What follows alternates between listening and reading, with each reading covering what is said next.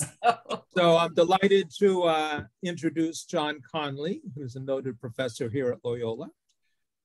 And John, you ready to go? Yes, I'm ready to go. Hello, right. everyone. My name is Father John Conley, and as Brian said, I'm a Jesuit priest here at Loyola University, Maryland.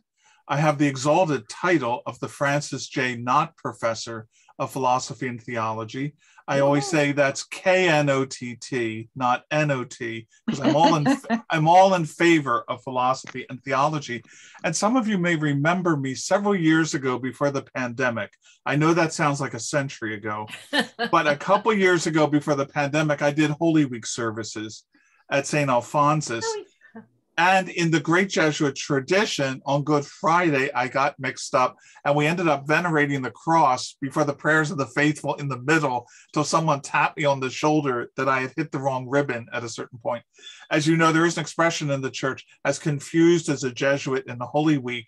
And although I do love the liturgy, unfortunately, that Good Friday was one to remember for a good bit of confusion up there in the sanctuary, but everything worked out fine at the end. Um, Father O'Donnell, uh, who lives with us here at uh, in the community here at uh, Loyola, Maryland, asked me to give a little talk on St. Edmund, Conley. St. Edmund Campion. Okay. And so um, let me just give uh, the presentation on Campion. And then at the end, if you have questions, I, call champion.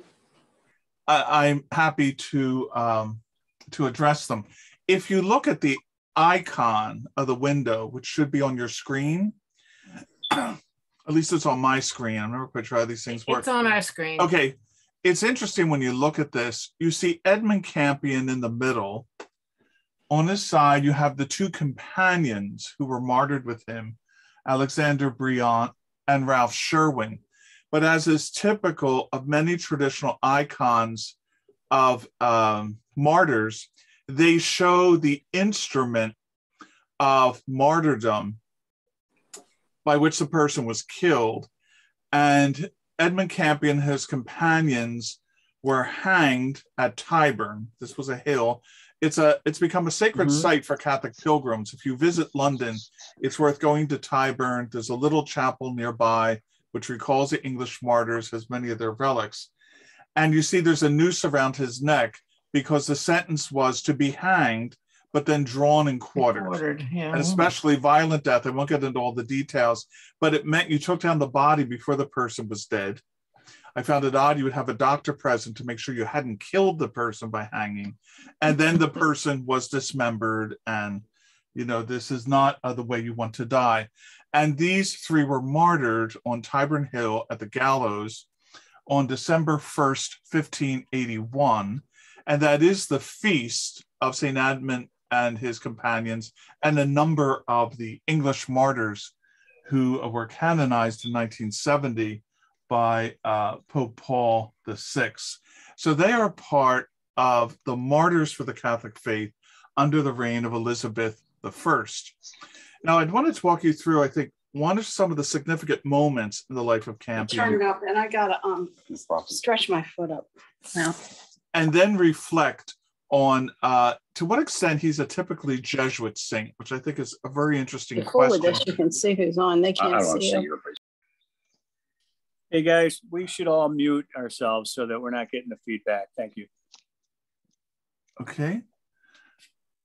All right. First of all, he's born in 1540 in a middle class family. He's the son of a bookseller, and we shouldn't be surprised he's someone who, throughout his life, will put a great deal of emphasis on literacy, education, and also the importance of books, pamphlets, and uh, broadsheets that he will be distributing as part of sort of an underground movement with the Catholics in England later in life.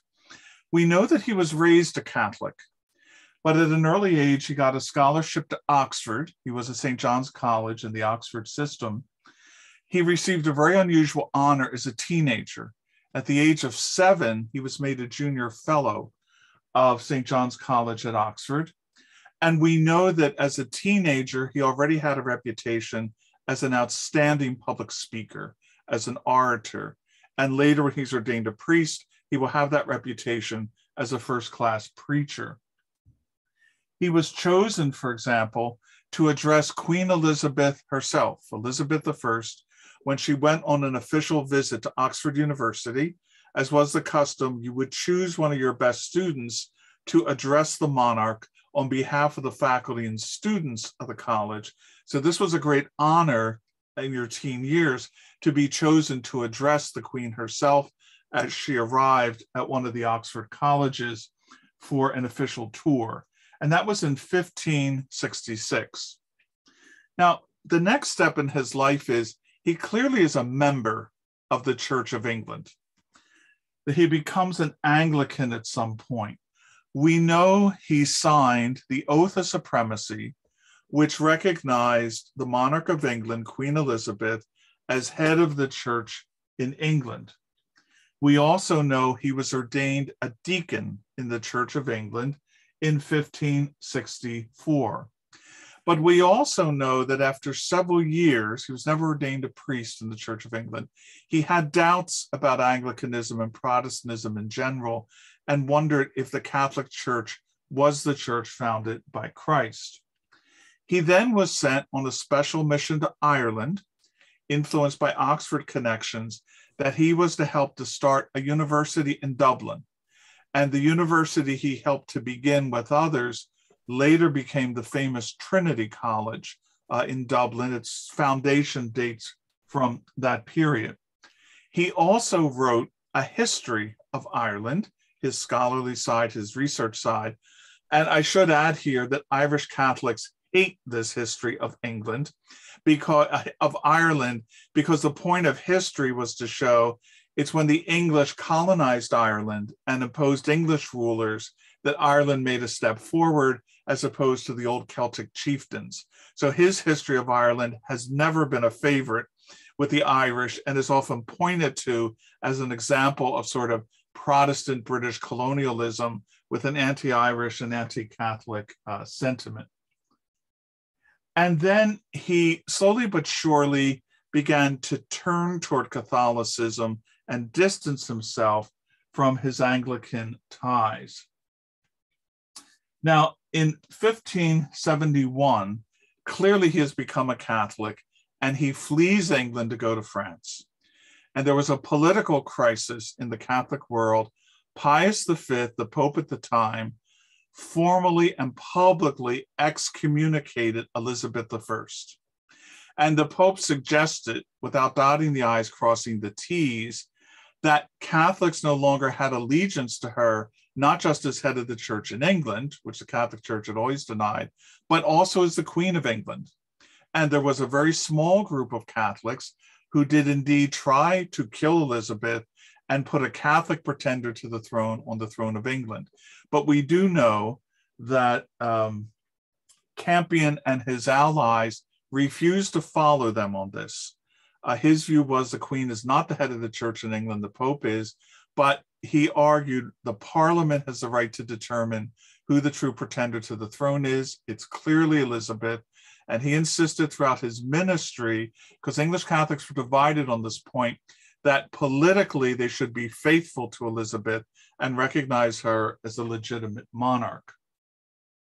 Now, after he flees France in 1571, I'm sorry, flees England, he ends up in Douai, which is a college town in France. Robert uh, Parsons had founded a college in France for exiled Catholics, both lay people and priests. There was also uh, an institute for English women who wanted to become nuns, uh, which uh, Jenna Simmons, I forget exactly what the order is called, in England is a representative of that group. And this was a very important college because the Douay-Rheims Bible, which is the first complete translation of the Bible into English, was written basically at two places. Most was written at Douay, but other parts of it were completed at Reims, uh, a cathedral town in France. And so this was a center just not for educating younger Englishmen and women who were in exile because of the persecution of Catholics in England under Elizabeth, but it was also a scholarly center, and their translation of the Bible was not their only scholarly work, but it was the most impressive. And it remained a standard edition of the Bible for centuries. Richard Challoner modernized the Bible a bit in the 18th century. Uh, there are still people who prefer the Douay Rheims version of the Bible, although that is not commonly used. I'll be honest, I tried reading the translation of St. Paul's epistles in Douay Rheims. It is very rough going to figure out exactly what is being said, but it's a venerable version, and he was there. He studies um, theology during this period, but he learns about the Jesuit order, which is a new order. It's a 16th century order in the church, was very impressed by the Jesuit ideals. There were very few English Jesuits at that time. There was no English province. So he went directly to Rome, met the head of the order, Father General. He was given a novitiate in Rome, and then he was uh, ordained a priest. He was sent to teach at a Jesuit college in Prague, in what today would be the Czech Republic. And again, this is a, a, a very well educated person, but as you can see, very cosmopolitan, who spoke different languages and sort of was touching down on different places in the Catholic world. Now, his life changed again in decisively in 1580. Um, Robert Persons had uh, decided that he wanted to ask the Pope to authorize a mission of Jesuits to England to assist the persecuted Catholics. Uh, the head of the Jesuits agreed, the Pope agreed. This was a secret decision. And the priests involved in this, as well as their lay supporters in England and Scotland, knew this was an extraordinarily perilous mission, which may well mean death for those involved, which did turn out to be uh, the case. In 1580, he lands at Dover. Like many Jesuit priests during this period in England, he was known for his disguises. And when he arrived at Dover, he had papers who indicated he was a jewelry dealer. And apparently, you know, he knew how to drive a very hard bargain on things made out of gold or silver that came from uh, the continent. At other times, he would be a folk singer going around the taverns. But after he had done his singing in his disguise, he would be talking with people, and sometimes he would start talking about the gospel, talking about uh, the church. He then wrote his most famous composition. It's called Campion's Brag. And this composition tried to explain why he felt the Protestants were wrong and said he wanted to debate the Protestants publicly to hear their arguments and to defend the Catholic position during the conflicts of the Reformation and try to show why the Catholic Church had been founded uh, by Christ.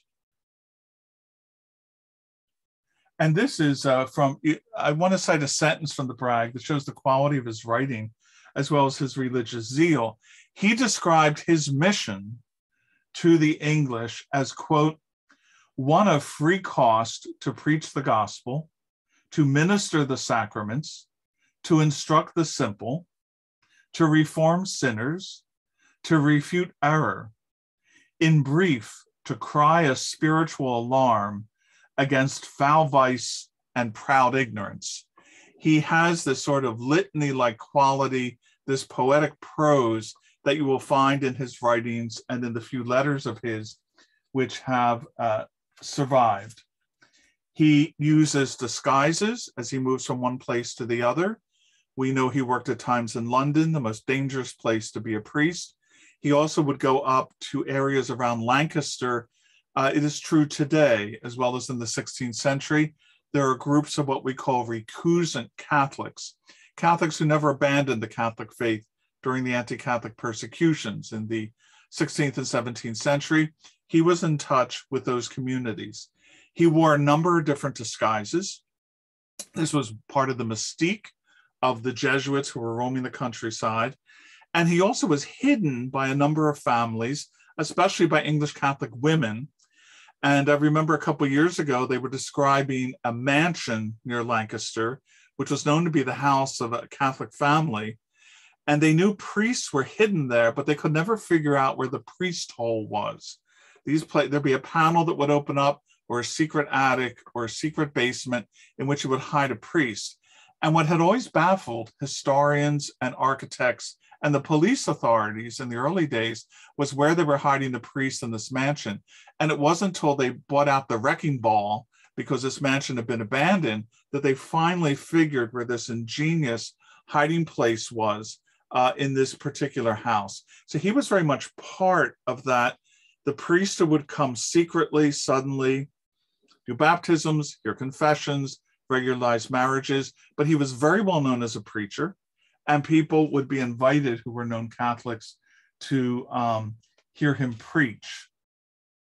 He was also known when he talked with people to focus on the idea of Christ as king. We'll talk about that a little later, how central that image is in the spiritual exercises of Ignatius of Loyola and Jesuit spirituality.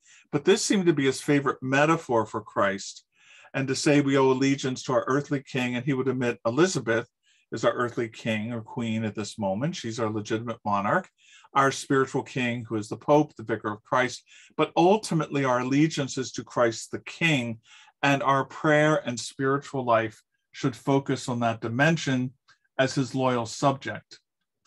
He also published uh, a new book called the uh, Decem Rationes. In English, that means 10 reasons. And it's 10 reasons why he thought the Catholic faith was true. And once again, he desired Protestant ministers, learned Protestant ministers, to debate him uh, publicly.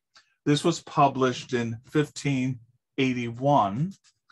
And there was a Catholic laywoman, Dame Cecilia Stonor, S T O N O R, because it was often women who maintained the priest halls, but she had a secret printing press in her country house. So she published this new pamphlet by him, and it was distributed in the pews of the chapel of Christ College at Oxford, the leading chapel, about an hour before Sunday services.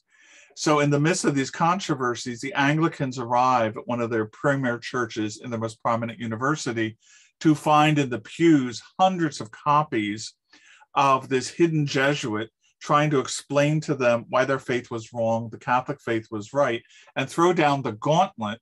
And again, Jesuits love debating. Our schools usually have good debating societies for good or ill. That's always a controversy among our high school teachers how much debating you teach um, our students.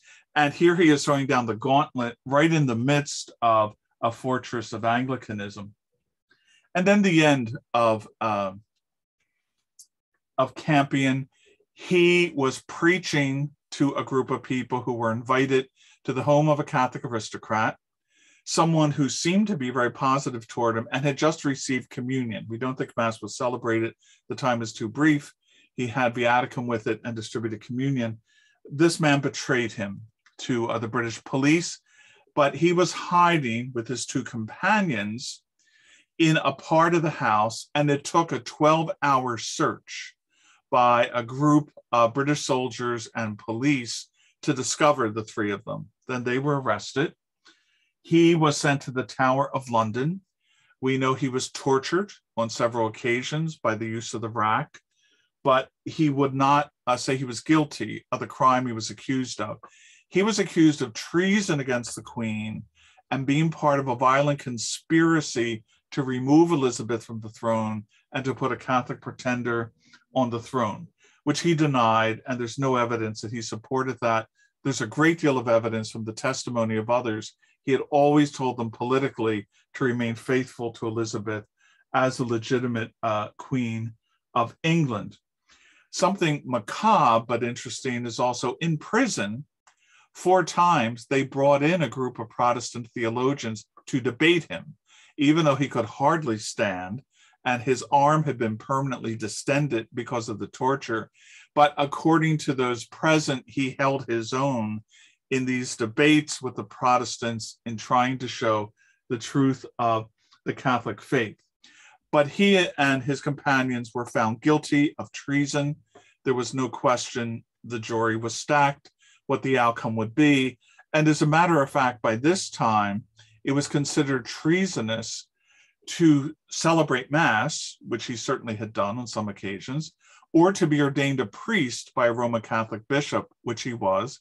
It was also considered treason to house a person who had been ordained a Catholic priest, who had been ordained a priest by a Roman Catholic bishop. So the many people, especially the women who had sheltered him and given him support, some later would be arrested and some would die, like Margaret Clitherow. I'm not quite sure what happened to Lady Stonor, who I find an interesting figure in this story, but I, am not an expert on English history. I, I, work much more on the other side of the channel in French history uh, during this period. So he was condemned to death. And on December 1st, he's taken to uh, Tyburn, and there he is um, hanged. When he's alive, he's drawn and quartered and his relics become extremely valued by the Catholic community. And of course, centuries later, Tyburn, because of his death and the death of hundreds of others of Catholics for defending the Catholic faith and celebrating the Mass and sheltering priests, will become one of the great shrines for English Catholics in the city of London. Now, that in brief is the story of Edmund Campion. But just a few points on why I find him such a Jesuit saint. And I think it's an interesting question. Anyone who dies for the Catholic faith is a martyr and is considered a saint, no matter what the rest of their life was like. But there's sort of uh, five points here, I think, that are striking. First of all, in the Jesuit order, you know our motto for the greater glory of God. Ignatius talked about the Magis. He wanted men to enter and persevere in the order who weren't just committed to doing good for God's sake, but were committed to the greatest thing they could do for God. And clearly, in the case of Campion, there was a moment he could have made another decision. When he was at Douai College, he could have stayed and done very valuable work as a teacher and also as a scholar. Uh, there's no question he knew his Latin because he wrote in Latin. He didn't just translate it. And that he could have easily mastered uh, biblical Greek and Hebrew and been part of that team. The life of a teacher scholar, which would have been a life of great service.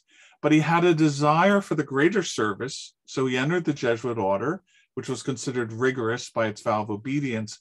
And we know he strongly agreed with Persons on the need for a mission to England, even though he knew that might well involve uh, his own death. The second is the importance of learned ministry in the Jesuit order. I'm often asked why we spend so many years in school when we're Jesuits. Most of us these days enter after getting our undergraduate degree. It's about 10 years from the moment we enter the novitiate, and Brian was one of my fellow novice mates many years ago, until the moment we're ordained priests. And I was ordained a priest right here at the uh, Alumni Chapel of Loyola University, Maryland, many years ago. One of the reasons is Ignatius saw the ignorance of the clergy was one of the reasons for distrust of the church and one of the reasons for the Protestant Reformation. And the church could never reform itself and become the church it should be without men who are very learned. Campion was an extremely learned man. This was an A plus student, a fine public speaker, a very polished writer, and he had that learning that is essential, I think, to Jesuit life and brought that to his work, writing in Latin, writing in English, preaching.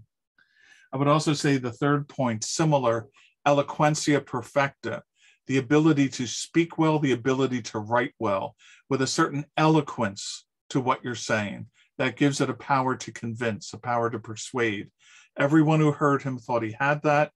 The power of his pamphlets, Campion's Brag, the 10 Questions pamphlets, of his letters that remain, indicate this was someone who put eloquence at the service of the gospel. I would also say he had the gift of discernment.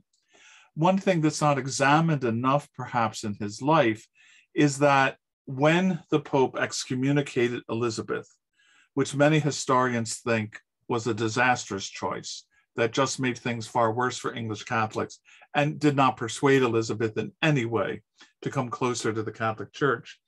He did not follow the position some more militant Catholics followed that all allegiance to her shall now be cut off, and we should dream of some Catholic monarch who will now rule us. He politely disagreed on this issue, and when it came to his political allegiance, it did not completely line up with uh, the allegiance to the Pope and everything. So he thought on this, the Pope was clearly indicating, so we're his counselors, we should cut out all allegiance to this excommunicated queen, who was the head of a false religion, a sort of imitation of the Catholic Church in their eyes.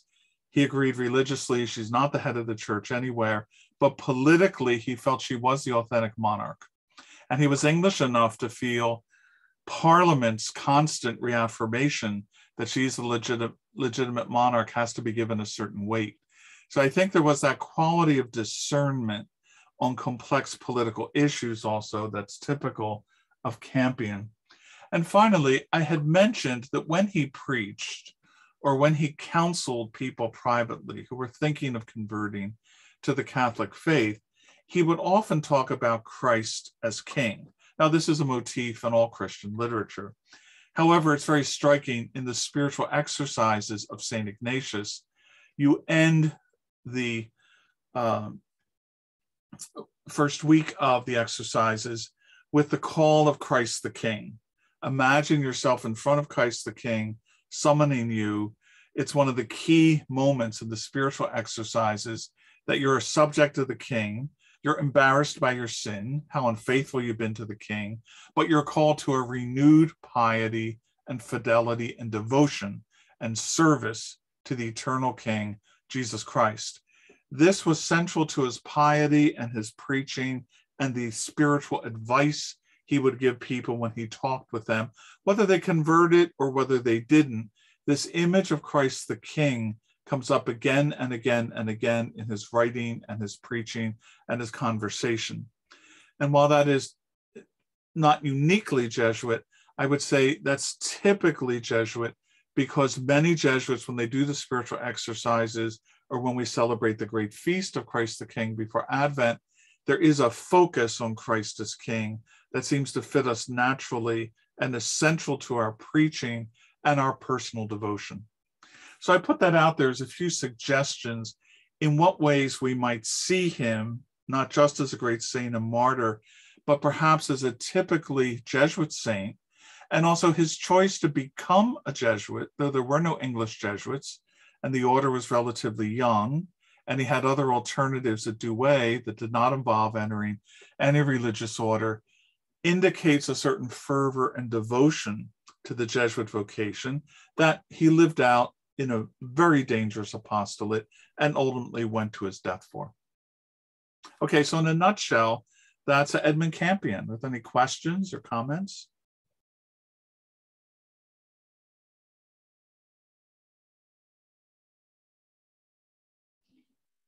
That's very interesting, Father. Thank you very much. Oh, you're welcome.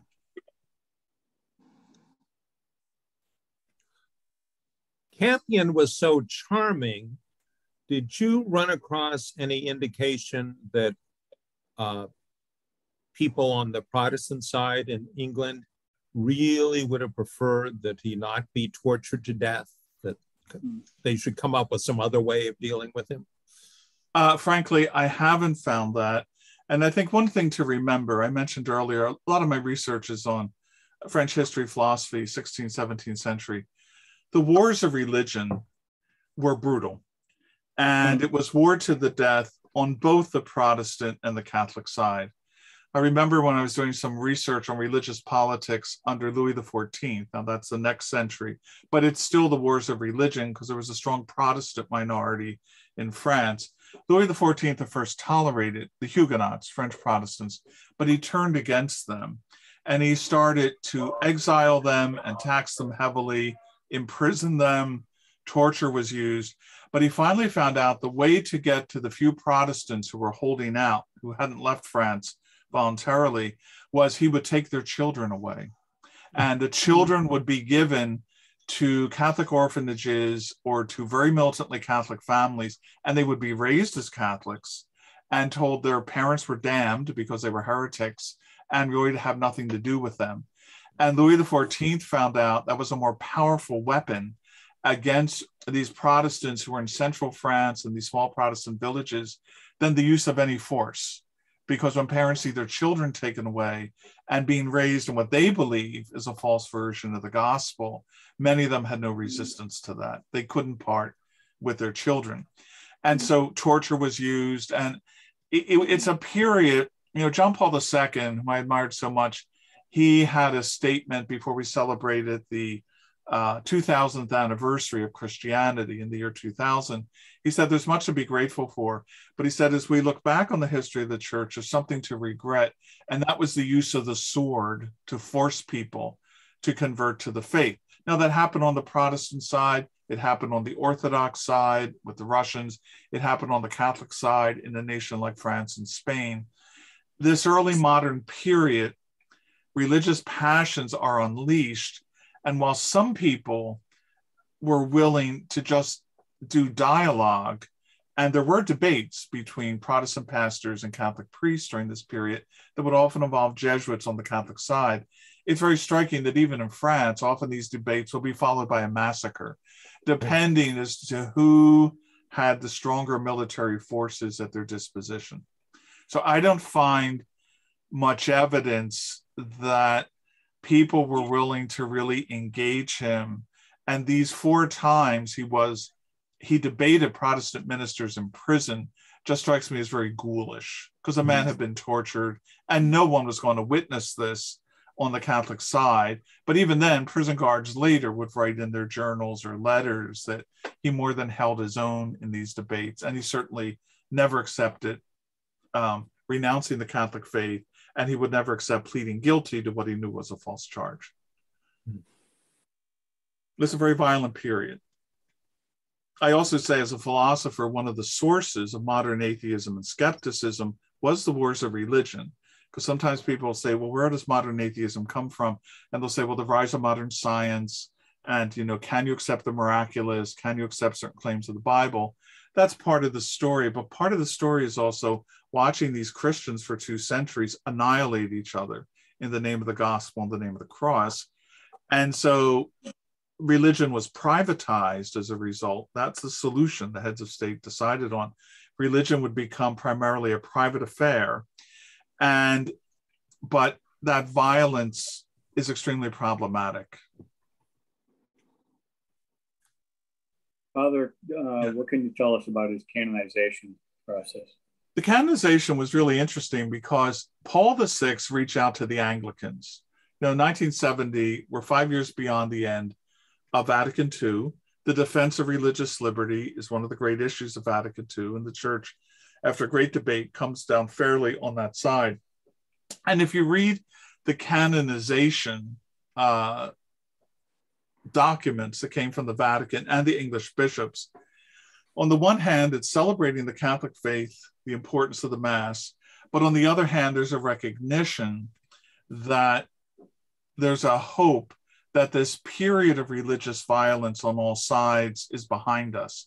So, ironically, there's a sort of ecumenical ring to the documents at the time of the canonization, reflecting, you know, the more charitable relationship between the Catholic Church and other Christian denominations. And of course, the Anglicans have had a special role because they always see themselves as midway between Protestantism and Catholicism. They do have bishops, priests, deacons.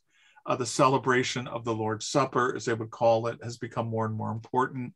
Most Episcopal churches in the United States would have the Lord's Supper at least on a weekly basis. A few of them do it on a daily basis. Something which really, in the United States, some decades ago, you wouldn't hear too much about. It would not be too common. So hmm. there, there is a sort of effort at a certain rapprochement. And the canonization was a time to give a sort of ecumenical spin to the martyrdom of these people. But when John Paul II visited England, he was at Westminster Cathedral, which is the Catholic cathedral for the city of London, because you can't use the word cathedral in London unless you're Anglican, and that's true of many, you know, large British cities by law, since Church of England is still the the one is officially acclaimed as the state religion of England. Uh, Paul VI, I thought, uh, I'm sorry, John Paul II gave a beautiful sermon in which he pointed out in Westminster Cathedral there were certain graves of the martyrs. And he visited Tyburn. And he said, You have to realize for us Catholics, the Mass is everything. And so many of the English martyrs were murdered, and many English lay people were killed because of the celebration of the Mass. You know, these priest holes were hiding people who would celebrate Mass. P- uh, priests who celebrated Mass were criminals by that very nature as you get late into Elizabeth's reign. And it was a celebration of the Mass, which was a crime. And many of the martyrs of this period basically died, just not for the Catholic faith, but for the freedom to celebrate the Mass.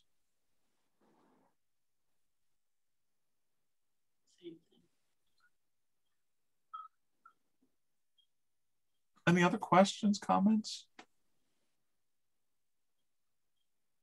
There you go. Yes. Uh, looking at the window, this is Regina here. Yeah. Um, I see that the, the two fellows directly behind uh, Edmund have, uh, I guess, they're palm fronds. Yes.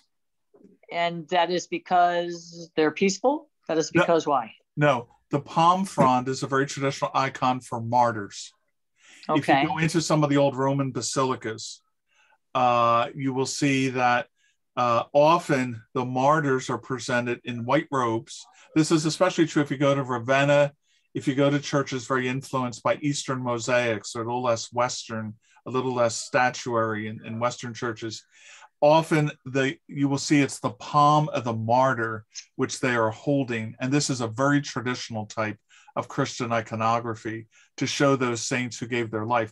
It's a palm of victory that they have Hmm, triumphed okay. over persecution and opposition, and it is a palm of victory. I was out at a conference several years ago in Minneapolis at the law school of St. Thomas University, because much of the rest of the university is in St. Paul. But I was struck by the fact we had Mass in their chapel, a Saturday vigil Mass before the banquet for this particular group. And um, when you enter the chapel, you see like this enormous palm of victory over the door. And I did some work on the artist. It's a very modern chapel who designed it, but he went back to Ravenna and that whole tradition of the martyr has won the palm of victory. And I think it's a church of certain martyrs. I forget which group. And that's what it is. That's what the palm palm branch is about. And the, the, the three in the forefront were the ones that were martyred that day. Yes. And the other two were grouped behind them that are just kind of slightly seen, were kind of gathered into a canonization process. I don't know about that. I wondered about those two that you barely see. It's clear uh, those who were martyred that day are Alexander Briant and then uh, Ralph Sherwin, who were martyred that day. I presume the reason you might not see their full face it's to suggest there were many others who were martyred at Tyburn, but I'm not sure exactly who that would be. But it could be standing collectively, and that's why you don't see identifiable faces for uh, the others who followed them, quite literally, as they're following them in the uh, stained glass work. But I'm not certain on that. That would be my interpretation. And was he much older? He, he looks, you know, like he's got 20, 30 years on the fellows behind him. Or I'm- is that just to show his wisdom or something? I'm not so sure because I was struck by that. He he dies at the age of 40. Now, Okay. four, 40 in the 16th century is not 40 in the 21st century, right? I mean, I turned 70 in November, and I'm quite young by Jesuit standards these days. And uh, so, uh, but he does look sort of older now. That that looking older, this is just a guess because I'm not a specialist in iconography, either in the 20th century or in the 16th century it could be an effort to show the wisdom of Campion. Sometimes you add some gray hairs and some wrinkles if you're trying to show someone is wise, the way an Aristotle might be, or a Plato might be, or an Aquinas might be. Sometimes they're presented as a little older. Okay. Uh, so I'm not certain. I'm not certain about that. It could be the other two priests were younger. Now, remember, um, I do know the other two priests are people who uh, were Catholics, then they left the church, and they re entered. They could well have been younger than Campion, because Campion has a long career before he enters the Catholic Church, having been raised a Catholic, but being an Anglican deacon. And then he has a time at Douay, then he has his time in Rome. Uh, we also know he met St. Charles Borromeo in Milan. Borromeo was the great reformer, founder of seminaries and the reformation of the clergy. And many people felt what he did pastorally in the Diocese of Borromeo, much better preaching, uh, also promoting uh, new Eucharistic devotions, such as the 40 hours devotion, is something he strongly promoted, which sort of caught wildfire throughout the Catholic Church later. So he visited, um, he had like a number of lives before he became the Jesuit who lands in Dover. Okay. Right. Other questions? Thank you. You're welcome.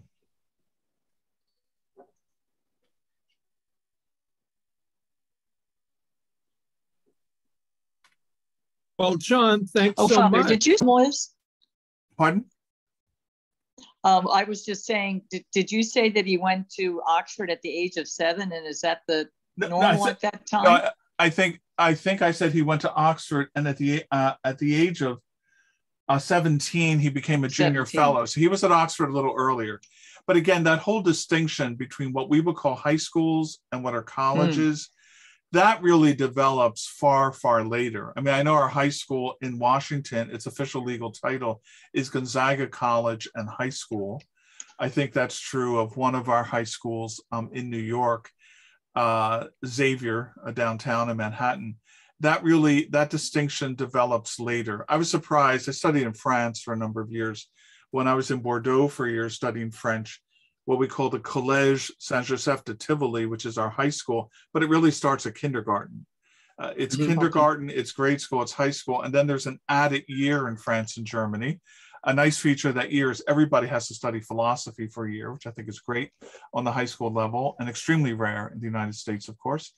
And um, but I, I it's something you know you could know easily but it just hadn't occurred to me. And so these schools are much bigger than our high schools a lot of the teachers you meet i mean some are doing basically kindergarten or even pre-k as well as grade school so they have different pedagogical issues than we do in our typical high school